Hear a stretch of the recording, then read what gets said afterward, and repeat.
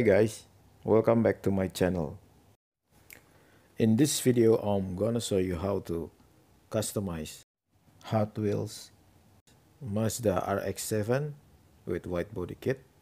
So how it goes, let's check it out.